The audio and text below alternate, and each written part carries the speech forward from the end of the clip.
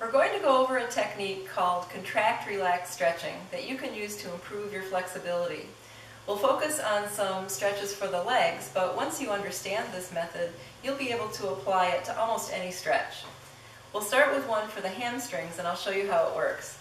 So for this first one, you're going to need something to help you pull your leg back with. I'll use this stretching strap, but it could just as easily be a towel or even your karate belt, all right? Loop it around your foot and just pull your straight leg back towards you until you feel a good stretch at the back of your thigh where the hamstrings are. So what should a good stretch feel like? Well, it can be like tension in the muscle or even a strong pulling sensation, but it should not feel like pain. This is very important. Don't confuse stretching with something like foam rolling. That's soft tissue mobilization, completely different. When you're stretching, if it hurts, you could be hurting yourself. So then you just have to back off a little bit, all right? So ideally, we would like to have this knee completely locked and the other leg down flat, but if you feel discomfort in your knee before you can feel a stretch in your muscle, then it's okay just to unlock this knee a little bit. Try not to bend your leg too much, otherwise you're not stretching your hamstrings anymore. Uh, similarly, if you have any low back discomfort, it's okay to bend the other knee up. So pick the position that's comfortable for you. So this is a pretty standard static stretch for hamstrings, but we're going to add something extra. We're going to contract the same muscle group that we're trying to stretch right now by pressing in the opposite direction of the stretch. So you stretched your leg by bringing it back towards you. Now you're going to press your leg as if you're trying to bring it back down to the floor, but you're holding on tight with your hands. So you're pressing into the strap and your leg won't actually move.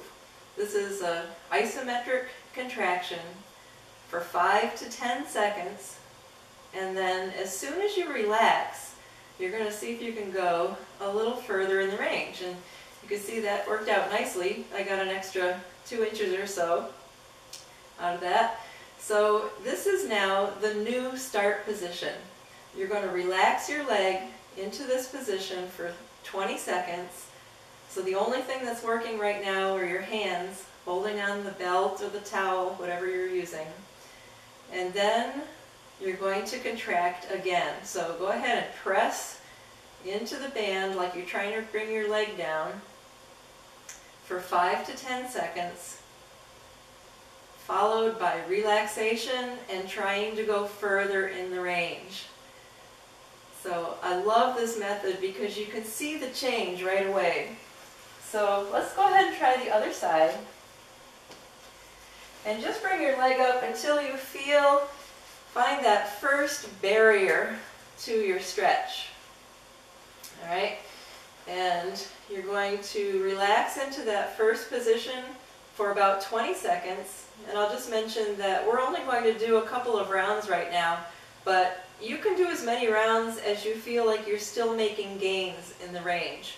And typically I top out around three rounds and then after that I can't really get much further.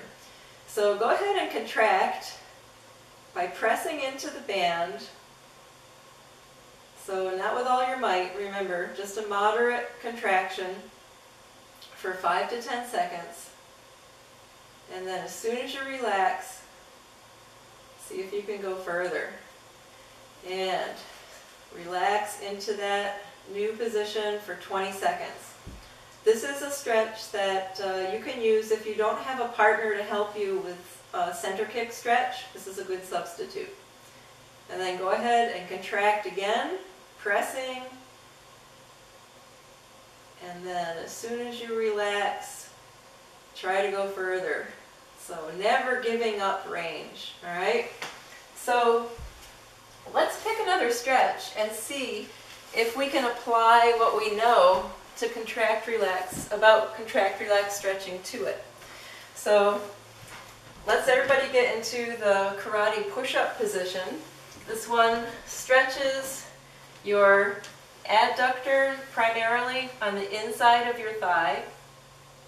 So you just go down to where you feel those come on tension and relax into that initial position for about 20 seconds. And think about how are we going to apply contract, relax, stretching to this position. Well, we know that we have to press in the opposite direction of the stretch. So I stretched my legs by bringing them away from each other. And now I want you to contract the muscles by pretending like you're trying to bring your legs back together underneath you again. So you're blocked by the floor, obviously, so your legs aren't going to actually go anywhere. That's your isometric contraction. So you're squeezing moderately for how long? That's right, 5 to 10 seconds. And then relax and see if you can get a little bit deeper. Relaxing into this new position for about 20 seconds. And I'll mention that this stretch can be used when you don't have a partner to help you with side kick stretch. And you get to stretch both legs at the same time, so that's kind of a bonus. And then you're going to contract again, like you're trying to compress the floor with your feet underneath you for 5 to 10 seconds. And when you relax, see if you can go even deeper. All right? So, you would hold that position relaxed for 20 seconds. So bring your feet together slowly, and uh, we'll do one for the hip flexors, the front of the hip. so this is, this position is called half kneeling. It's a pretty standard position to stretch hip flexors in. And what I'm doing is sort of lunging forward to try to open up this back hip. So a couple things to look out for is don't allow your low back to arch or your pelvis to tip forward. That's your body trying to get out of doing this stretch. So you have to shore, sort of shore up from the front. I just contracted my abdominals just see if I can keep my hips level as I uh, lunge forward. So as you're relaxing into the position for 20 seconds, ponder how will we apply the contraction to this position? Well, I stretched by opening up this angle and basically bringing my, making my leg go further behind me. Although I did that by making my body go forward. So when I contract, it's like I'm trying to close this angle or to bring my leg forward underneath me. So right now I want you to drive your knee into the floor moderately. Uh, you can use a pillow for comfort if you like. And you're just contracting by trying to bring your leg forward, driving your knee into the floor for 5 to 10 seconds. And as soon as you relax, see if you can go a little farther forward. All right? So I want you to do one more round on that side and then switch your legs and I will explain the importance of this stretch. So if you if tight hip flexors limit hip extension or making my leg go farther behind me, would tight hip flexors matter to my center kick? Well, most people would say no because I don't have to make my leg go behind me to do a center kick. It's going in the opposite direction. But it's a trick question because what's happening on the other side? So when I bring my right leg up, I have to do a kick. I have to thrust my hips into the kick and I'll probably be leaning back a little to as I extend my leg to keep my balance. All right. So with my foot planted on the floor, is this hip extension? You bet it is. So yes, your hip flexors can hold down your center kick on the other side. Uh, additionally, they attach to your pelvis and to your lumbar spine from the front, deep down in. So when they're very, very tight, they're pulling on your low back all the time. So many people find that stretching their hip flexors helps alleviate back pain. All right, one more. For this one, you're going to need a chair. And so you just sit and cross your leg over. And my hands are here near my ankle just to make sure that my top leg doesn't slip off. And I'll show you from this angle. So you're going to straighten your back and try to lean forward. So it doesn't matter how far down your head goes, that's just me bending my spine. What you're trying to do is get your belly button closer to your lap. That's how I think of it. So this is for the posterior hip, the deep hip rotators. So you're going to feel all of that come on tension.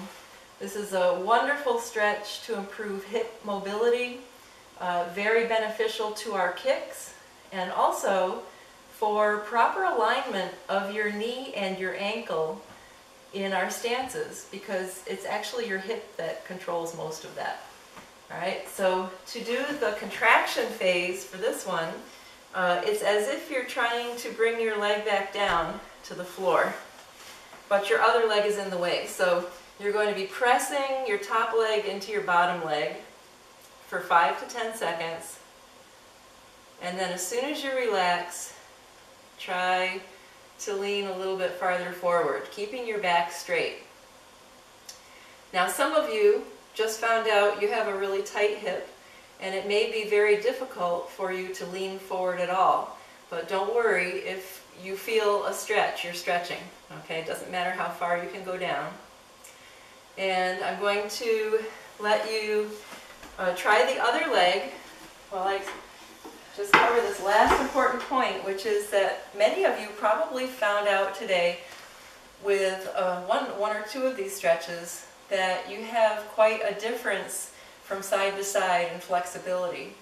So uh, that's really something important to pay attention about because uh, it's almost worse to be flexible on one side than it is to be tight on both sides equally. Uh, that asymmetry can just cause you to use each side of your body so differently, almost with every step you take, that it can set the stage for a repetitive strain injury somewhere down the line. So your goal is to make the tight side more like the other side. And what I do for myself on some stretches is I stretch the tight side first, go to the other side, and then go back and stretch the tight side again. Okay? So that is contract, relax, stretching, a very effective technique that can help you maximize the benefits of your stretching so that you can train safely and have more fun.